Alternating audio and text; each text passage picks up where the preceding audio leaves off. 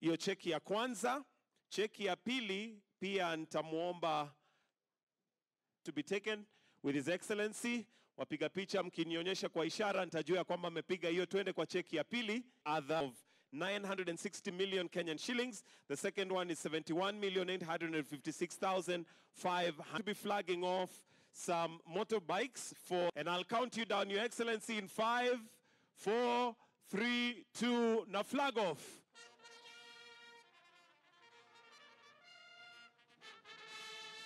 Information on real-time tracking of wildlife species. families are suffering.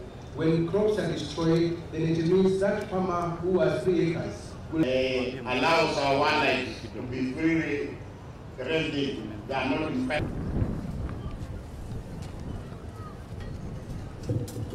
For operationalizing the we have close to 17,000 already assessed and verified cases of human wildlife conflict with a cost of 7 billion shillings.